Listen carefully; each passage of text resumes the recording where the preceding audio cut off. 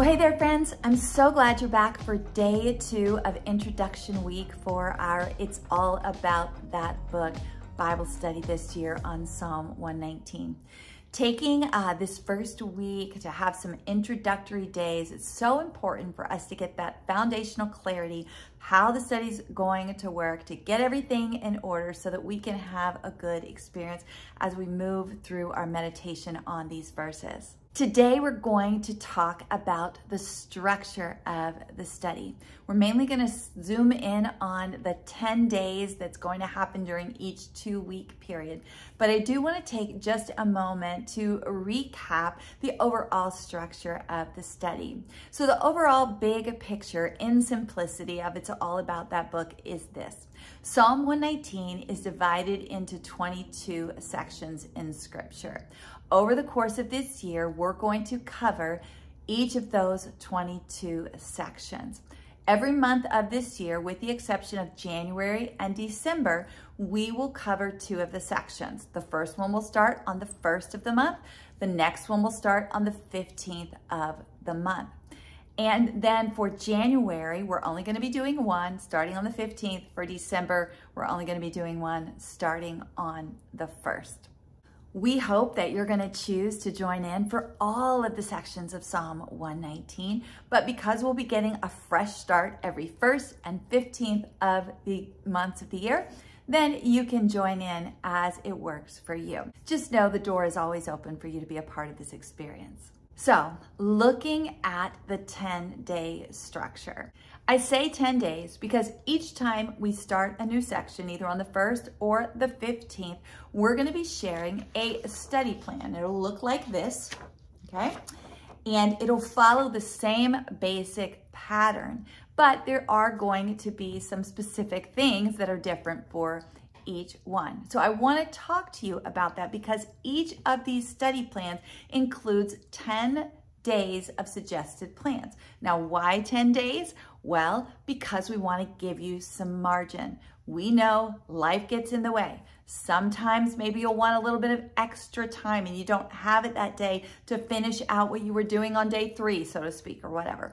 And so you want to spend some more time the next day on that. This will give you some margin. There might be a day here or there where you can't get to it. Life happens sometimes, emergencies happen, and we don't want to have it structured so tightly that you don't have any room for margin.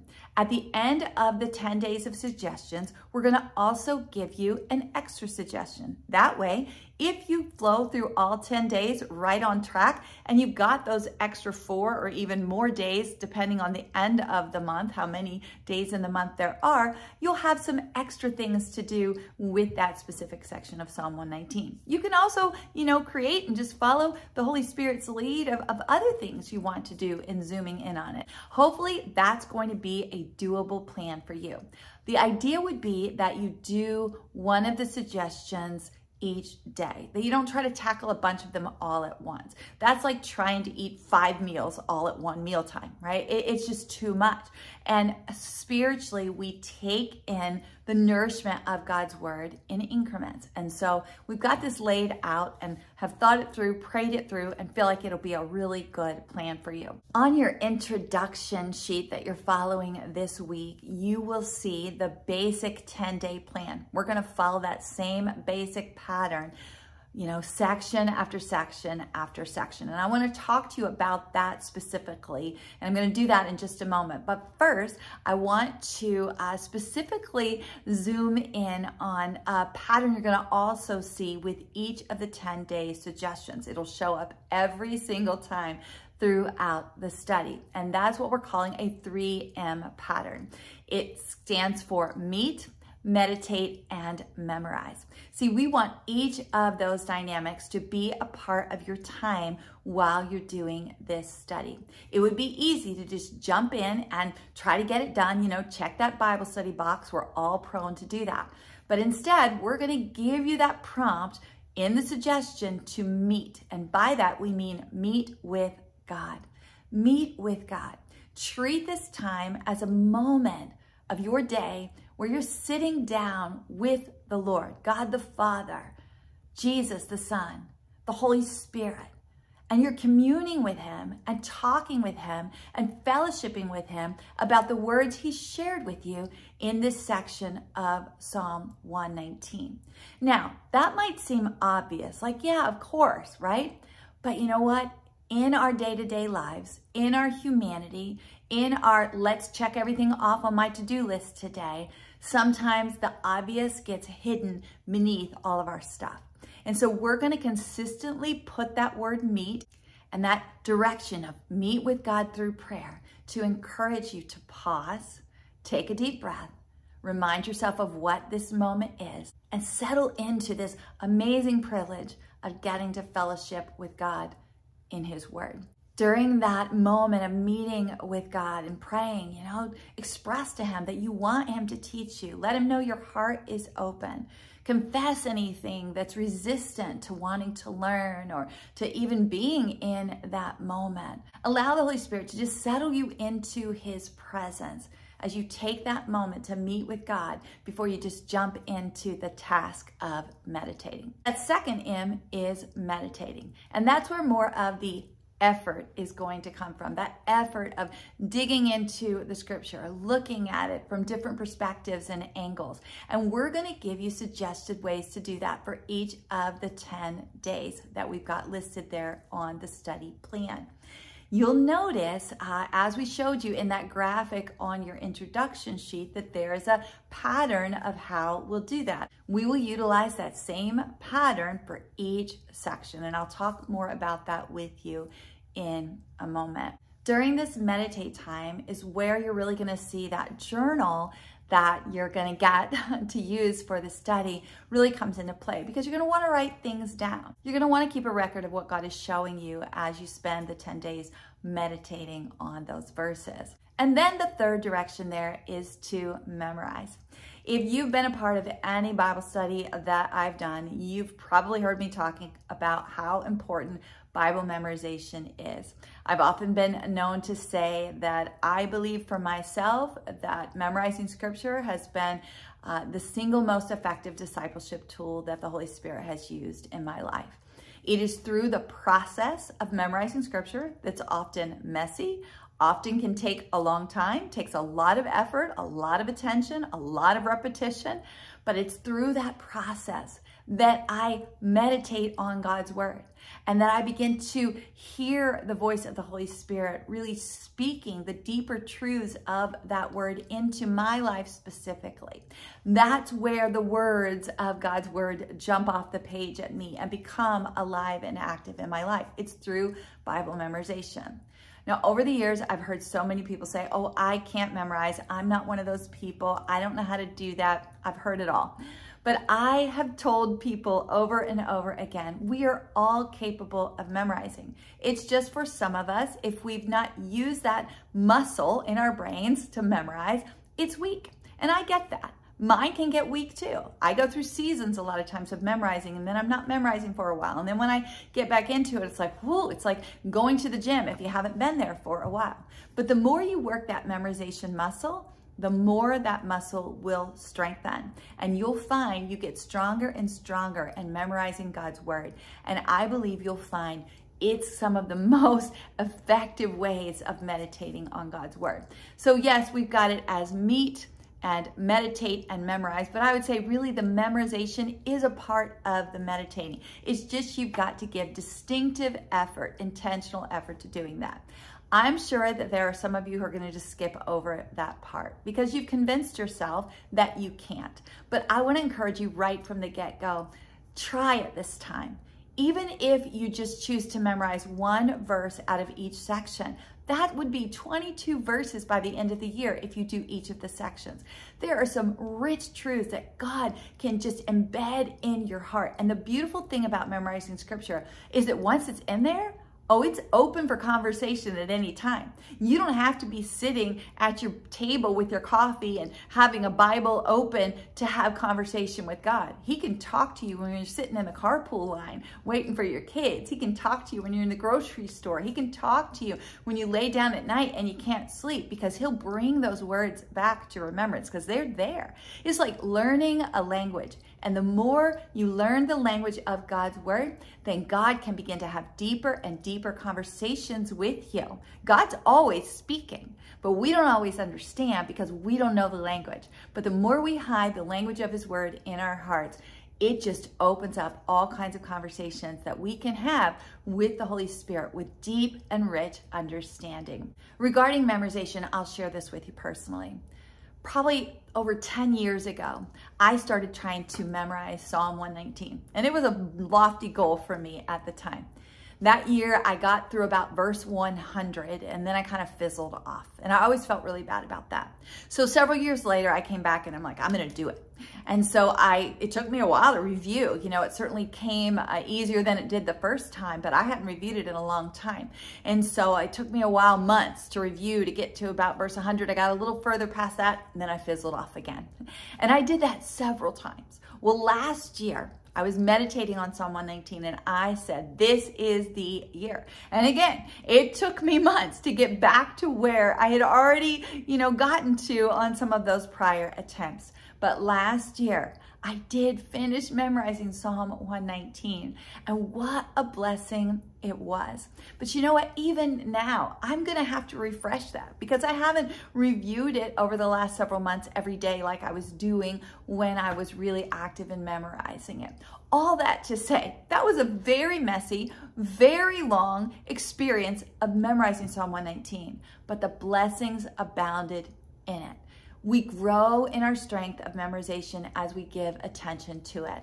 And honestly, I will tell you, I believe it's one of the best things you can do in your walk with Jesus. So I hope you won't leave that part out. So meet, meditate, and memorize. Those are going to be the three dynamics of every single day of our suggested study plans. It's simple, but it's so rich as we give ourselves into the practice of these things. So let's talk now about the specific 10 days. On the first and the 15th, as we start a new section, we will share that study plan with you. You'll always see on the very first day, your meditation is going to involve reading, reading that section. It's not just going to be reading it from whatever version you're choosing to read from, but we're also going to encourage reading it from at least two other translations. A great place to uh, you know access other translations is uh, BibleGateway.com. You can just type in the scripture that you want to uh, read on the search bar and then, you know, um, peruse through their variations of versions. And I encourage you to look at different versions. Keep in mind though, there are versions of scripture that are word for word translations. The NASB, which is what I study from and what we're providing, you know, a copy of that for you. Uh, that is a word for word translation. The ESV is more word for word in regard to the original language. Then you've got some other uh, translations that are more what we would call phrase for phrase. The NIV would be one like that.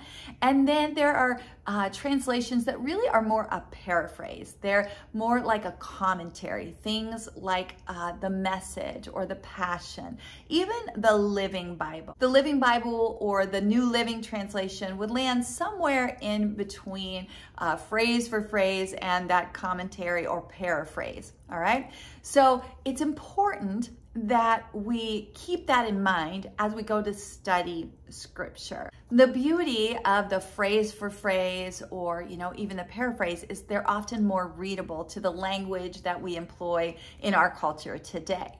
However, we miss some of the richness when we don't look at that word for word translation. So you're gonna have time to peruse multiple kinds on that first day when you're reading. And usually we're gonna give a suggestion that you make some, you know, marks where you, a word, you know, and, and the way that that, that idea is, is shared you know, just really uh, impacts you or tends to grab your attention. On the second day, it's always going to involve copying, and we're going to encourage you to copy side by side.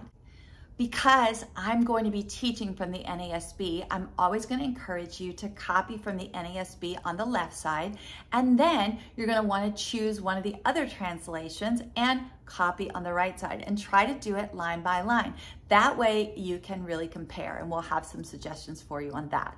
So, first day's read, second day's copy. Days three through seven are going to be set aside for meditation, and we will have varying suggestions of how to meditate on that section. There are going to be some things that are going to be repetitive from section to section. For instance, we're often going to have you look at the uh, specific things that those verses reveal about God. We're often also going to have you look at the distinctions of what uh, words for the word are used in that section. We're going to talk about those more on another day of our introduction week, but that would be things like law, precepts, commandments, judgments, ordinances, those kind of things. So we'll talk more about that. But those things are going to be consistent through each of the sections. And it's going to be amazing the things that we'll see and the depth that will take us to as we look at that. But then on the subsequent days of meditation, there will be some varying uh, suggestions for meditation based on what that section really is about. So day one is reading, day two is copying, days three through seven are meditation, day eight is always going to be the day that we will share some teaching. I will share some teaching on those eight verses. I wanted to do it in this order because I want you to meditate first and not just take what I say at the beginning and then meditate from that standpoint. You in your Bible, you meeting with God, you meditating on scripture. And then it's like meeting with a friend as I'm going to come alongside and share some things that I saw in my own meditation of those same verses that you've been meditating on. What about days 9 and 10? They're going to be reserved for praying the verses that we've been meditating on. We're going to spend one of our days in our introduction week where I'm going to explain more how to do that. But I'm believing those are going to be some of the most life giving prayer times for us because we have been meditating on this word and now we're going to really pray through it with an emphasis on praying for ourselves, those verses, and then also praying them for someone else. And then, as I already shared, at the end of the 10 days, those suggestions, we're going to also offer an additional suggestion if you choose to continue during those days of margin that you have left. So hopefully that gives you more insight about the overall structure of the study and also specifically uh, what each one of those 10 days is going to hold. Specifically for you to get in the word today, we've got more sections of Psalm 119 and we've also got that prayer from verse 32 of Psalm 119. Praying as you're preparing and getting introduced to this study, that God would enlarge your heart so that you would love his word more. I'll definitely share more with you about that in the teaching video on section three. It's, it's one of those truths from Psalm 119 that is just embedded in my heart and my experience with the Lord. But here's the thing, just putting it in a nutshell. Our hearts, left to ourselves, our hearts are really too small to have the heart affection for God's word that we, we should. You know, as I talk to believers all throughout the years that I've been in ministry, and I also know in my own heart, we can be so resistant to the, to the blessing and the treasure of God's word. We don't love God's word like we should. Our hearts are too small. But the beautiful thing is that God can enlarge our heart. That's one of the prayers that David prayed right here. He prayed into God, enlarging his heart. He said, I'll run the way of your commandments. In other words, God, I'm going to do what I'm supposed to do, but I'm going to trust you to enlarge my heart. And so I would just encourage you on this day two of introduction week that you ask the Lord, God, enlarge my heart so that I will have the capacity to love your word more than I do today. And I believe if you pray that with a sincere heart, God's going to answer that prayer. And you're going to see that answer come alive as you spend time in His Word through this experience this year. I'll see you again tomorrow for day three of introduction. Enjoy your time in God's Word today.